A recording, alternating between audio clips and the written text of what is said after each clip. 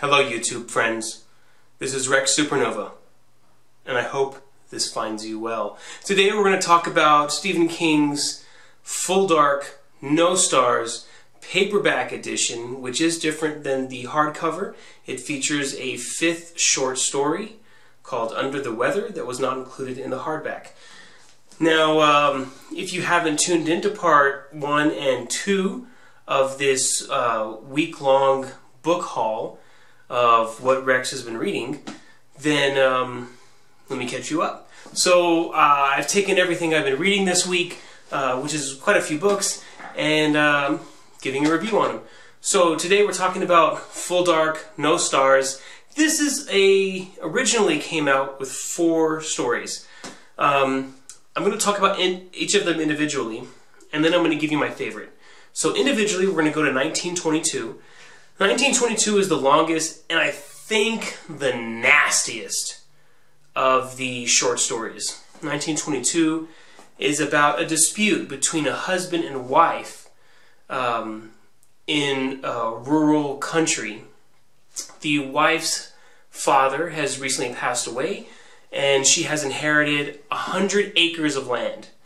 Um, she wants to sell the land to a local farming industry and take all the money, go to the city and open up a salon or a bed and breakfast. The husband says, No, no, we're going to take the land, we're going to make sure that no one soils the earth, and we're going to live off the land, and even if we're poor, we're going to be happy here because we're going to be with each other. And she doesn't want any part of it. She just wants to go have fun. She wants to go to the city, do her thing. This causes a rift. They have a 14 year old child. Um, it comes down to the husband deciding he's going to settle the dispute with murder. Of course, it's a Stephen King novel, you're going to get some murder going on. So uh, the husband coaxes his son to help him murder his wife, and they do so. And that's within the first fourth of the short story. That is a minute portion, but a giant springboard into what happens for the rest of the novella. For regular for for any other writer, I think that that uh, this would have been uh, quite a, a, novel in and of itself. But because it's Stephen King, it's 150 pages or so. We're just going to call it a short story. But um, it, it's a fantastic read. 1922. I'm just going to tell you off the bat my favorite short story in the whole collection. It starts and it takes you. It's written in first person. It's written as a confession. He's sitting in a hotel room. He's writing out a confession, and this is a 150 page confession from this man about what he did to his wife, what happens to his son, what happens to him, how he makes money, how he doesn't make money, how he survives, and at the end, kills himself because of everything that happened in the rest of the short story. Great, great fiction. Nasty, nasty stuff happening.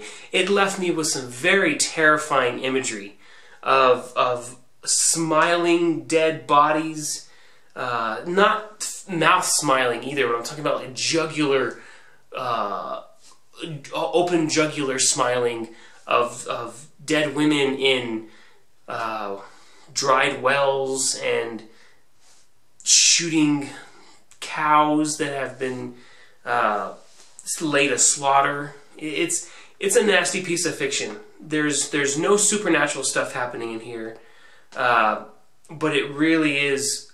I consider it a good read. In and of itself, I'm going to give it a 4.5 out of 5. Nearly perfect. I wish it were a little bit longer, but it feels long because he does have a quite contrived plot. Um, and it does follow him for an entire year. So it's quite a good read. 1922, highly, highly recommended. The second short story, I tried to get into the first time, really wasn't into it, and then I took a break for you know a while, and then um, I got back into it. A while meaning a couple hours. I got back into it. Big Driver. Big Driver, in and of itself, is a nasty short story, and once I got caught into it, it wouldn't let me go. Uh, now, Big Driver is about a female author who gives guest lectures and seminars as a way to supplement her income. So she tries to book three or four of these a month, get a nice chunk of change to kind of hold her over.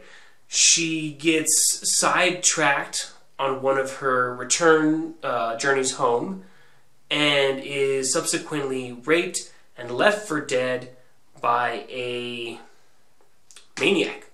But she doesn't die. She remains alive. She finds a way to get home and she hatches a plan to find her assaulter and get revenge. Very classic revenge story, very needed revenge story. It talks about women being uh, victims, it talks about women empowering themselves to not be victims and to avenge themselves. It's a it, it's a nasty short story. I'm gonna give it a 3.5 out of 5. It did have some kind of slow points, and there were some portions that were kind of far fetched. And I'm gonna let you read it for yourself. It's the second longest of the uh, selection that's in the book, uh, but I think it's a very good read. 3.5 out of 5 well worth it, highly recommended Big Driver. The third and shortest of the selection is Fair Extension. Fair Extension is about a man, our protagonist, who has cancer. He finds a gentleman on the side of the road uh, doing some vending late in the evening, and he is selling extensions. What kind of whatever kind of extension you want.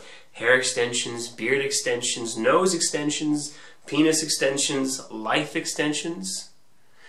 He sells the protagonist an extension on his life. You have cancer, I'm going to extend your life.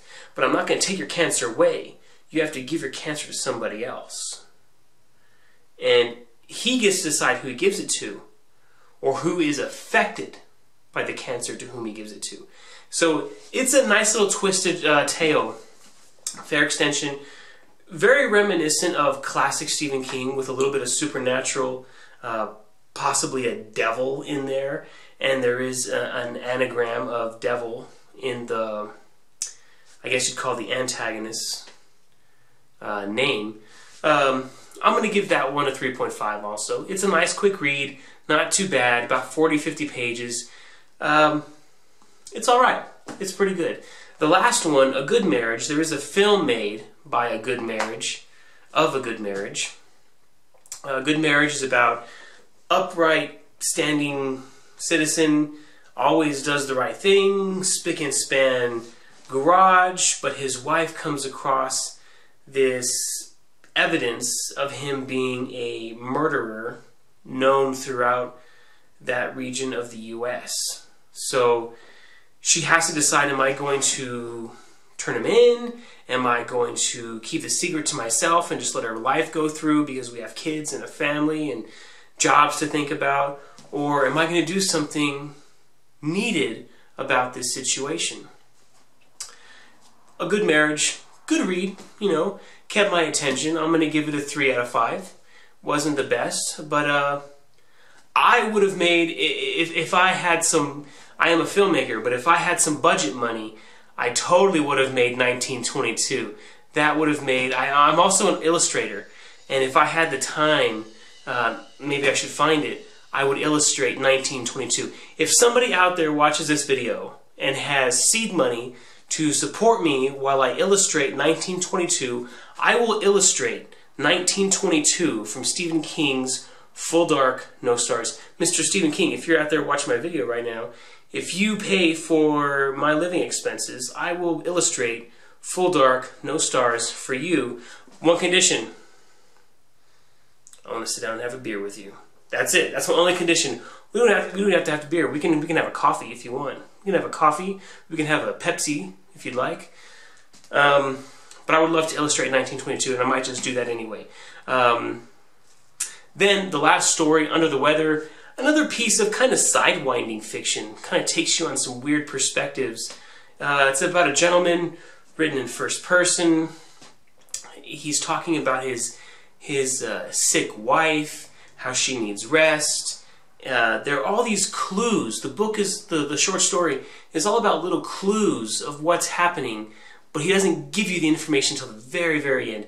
And you're, you're expected to kind of build up this information as you go along. You know, you're starting to think, and he gives you these little things to, to, to bring you along this, this trail that he's setting for you. And then he snaps and he gives you this shocking reveal, which, if you're paying attention, shouldn't be that shocking. Under the Weather, it's a fair short story. I give it a 3.5. Again, my favorite, 1922. I'm reviewing Full Dark, No Stars, the paperback edition by Stephen King.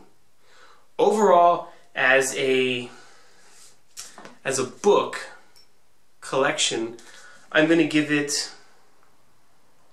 I'll give it a 3, 3.75. I'll give it a 3.75 as a short story collection. Some nice meaty stories to sink your teeth into, some quick ones, and they're nasty. I don't think that Stephen King would have published this as Stephen King in the 80s. I think he would have written under Richard Bachman. But because everyone knows that secret already, he can't really do that. He just is who he is now. So instead of being Richard Bachman, which I think he would have written these as under a pseudonym, um, they're just nasty Stephen King stories. Thank you for watching. Stay tuned for part four of four of my second week of December book haul. And the next one is going to be a doozy because it was my favorite of the entire week. Stay tuned. Thank you very much.